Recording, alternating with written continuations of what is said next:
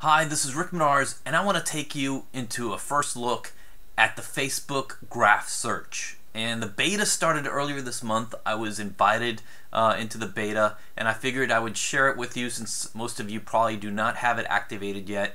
And it's a pretty neat feature that was introduced uh, last Wednesday by Facebook, um, actually last Tuesday at a media event.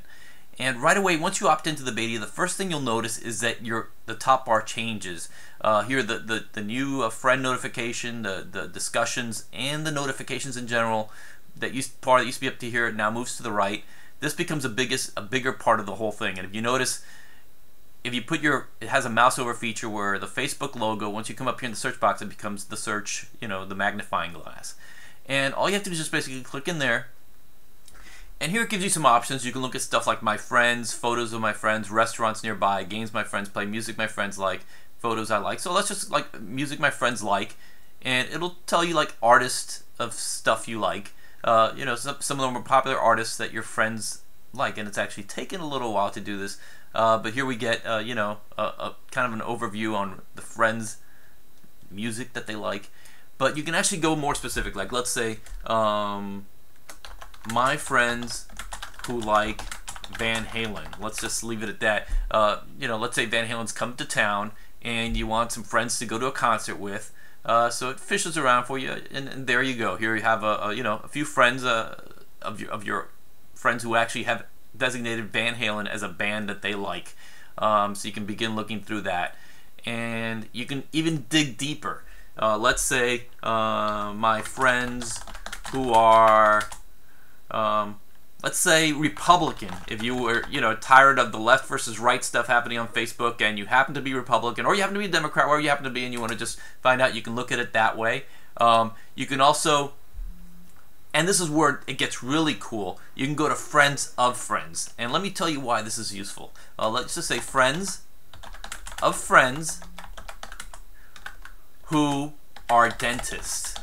And this is where this may come apply. Let's say your molar's really acting up and you need a dentist and you don't have a dentist but you don't want to just go into the phone book or go into your uh, you know if you have a dental plan blindly pick any dentist. Um, you want to see someone who actually is a friend or a friend of a friend, uh, since you may not know it, who can refer you to the friend and let you know, hey, is this guy any good?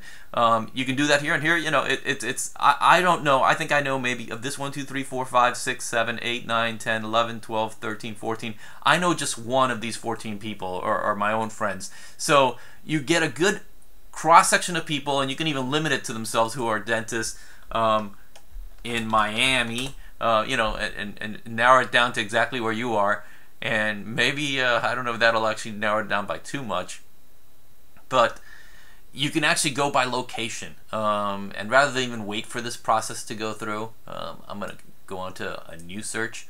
Uh, let's say friends who like sushi. So let's say uh, you know uh, um, I'm hungry. I want to eat some California rolls. Here, here are some friends who like sushi as far as their favorite preferences of food. And you can do also friends of friends, which may get a little funky because if you do friends of friends, uh, now friends of friends who are single, you can do something like that. Let's say you are single, um, and or hopefully you are single. I'm not, you know, this isn't Ashley Madison or anything here. Uh, friends of friends who are single, you can actually go out there instead of actually seeing your friends that are single. Here it tells you a lot of people you know, and there's this page is usually going to be pretty full. And then if you're interested in anybody here, you can actually just contact, you know, find the mutual friends. You know, find out who the mutual friend is, contact, and they will be your friends. You can contact them uh, to, you know, tell them, hey, can you introduce me to this person? Uh, I think we may have a lot in common, at least going by just a single snapshot on Facebook. So that's basically an overview of what the, the graph, you know, searches. And obviously the name is pretty hokey um, in of itself, uh, you think of graph, you think of maybe it's like a paragraph, but it's actually based on the social graph, uh, which is just basically saying, you know, the, the social graph of the internet where people can be connected uh, through social networking. Uh, and, and you have a billion active Facebook users right now, and they within themselves have more than a trillion active connections between them and, and, and likes and stuff like that. Uh, so it's a pretty impressive uh, process here. Uh, and even though it's not really getting a lot of play because they think, well, gee, it's not really that much of a game changer, it is. Because, um, you know, if, if, you, if you go back to the search thing, and let's say you're, you're you know, restaurants nearby and you can pick restaurants nearby but it's not just giving you restaurants it's giving you places uh, you know you can have friends that actually like these places like like a cheesecake factory and outback or you know red robin and stuff you know the nearby restaurants it, these features are going to get better and i think it's going to get better especially as more people start using it as facebook introduces maybe something like a, being able to rate these restaurants um, where people can actually submit things and you're already starting to see you see there's there's a rating right here right? You see that? Yes. Um, so you're starting to see stuff where Facebook will become maybe not entirely a replacement of Yelp, um, but it will be. Uh, it could also be used, uh, you know, for, uh, and I don't want to say that Facebook is going to kill LinkedIn because it's not, but you can always put in, let's say, friends of friends who are lawyers. And in this case, you could find out. Let's say you you just got out of law school and, and you, you you need you need a job. Um, you know, you now you have if you know your friends are attorneys, you know most of them are not, but you know that they have friends who have friends who are attorneys, and you can find out here, uh, you know, a wide assortment of friends who just happen to be attorneys. And you can contact the, the mutual friend, tell them, hey, um, do you know if they're hiring, if they're if they're if they're a partner at a firm that's hiring, um, anything like that, any profession, friends of friends who are teachers, friends of friends who are think, people are going to learn to rely on this, uh, you know, graph search. Despite the name, um, they're going to learn to rely on it because it really accomplishes a lot especially when you need something. Uh, instead of going to many other, you know, blindly going through, you know, search websites and stuff to find something, you can able be able to tap your friends and the, as resources to find things out there. So, you know, if you want to find out if a good restaurant's out there, sure, you can go to Yelp.com uh, and get great reviews.